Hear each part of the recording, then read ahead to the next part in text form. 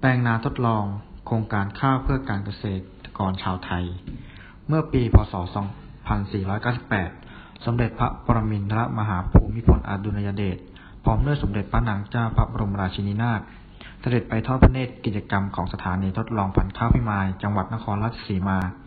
ปัจจุบันคือศูนย์วิจัยข้าวนครราชสีมาทำให้พระองค์ทรงพระราชาฤทัยที่จะทดลองทำนาด้วยพระองค์เอง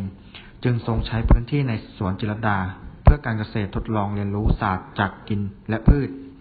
ข้าวเป็นพืชอาหารคู่กับประเทศไทยมาแต่โบราณ การทำนาเป็นอาชีพหลักของประชาชนส่วนใหญ่ของประเทศ พระมหากษัตริย์ทรงเห็นความสำคัญของผู้ประกอบอาชีพนี้ เมื่อถึงเดือนหกของทุกปี ซึ่งเป็นระยะที่ชาวนาไทยเริ่มต้นการทำนา จะทรงพระกรุณาโปรดเกล้าให้จัดพระราชพิธีพืชมงคลจรดพระนางคันแรกนาขวัญ เพื่อความเป็นสิริมงคล และบำรุงขวัญเกษตรกร ถือเลิกยามเหมาะสมตามประเพณี โดยสมเด็จพระปรมินทรมหาภูมิพลอดุลยเดชทรงพระกรุณาโปรดเกล้า ให้ฟื้นฟูพระราชพิธีนี้ และปรับปรุงพิธีการบางอย่างให้เหมาะสมกับยุคสมัยด้วย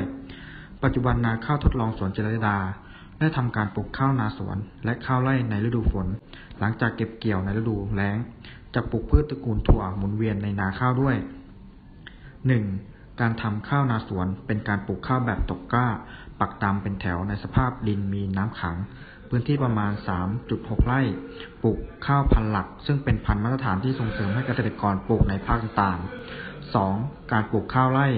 เป็นการปลูกแบบใช้เมล็ดหยอดลมให้เป็นแถวบนที่ดอน ไม่มีน้ำขังพื้นที่ประมาณ 1.2 ไร่ ส่วนใหญ่อาศัยน้ำฝนเป็นหลัก ปลูกทั้งพันธุ์ข้าวเหนียวและข้าวเจ้าที่เป็นพันธุ์ดี ส่งเสริมให้ปลูกในแหล่งที่มีการปลูกข้าวไร่ของประเทศ 3. การปลูกพืชหมุนเวียน เป็นการปลูกพืชตระกูลถั่วชนิดต่างๆ เช่นถั่วเขียวถั่วเหลืองถั่วลิสงในฤดูแล้ง หลังเก็บเกี่ยวข้าวเสร็จ เพื่อเป็นการปรับปรุงลูกดิน และสาธิตการปลูกพืชไร่หลังการทำนาทำให้พื้นที่นาเกิดประโยชน์ให้มากที่สุด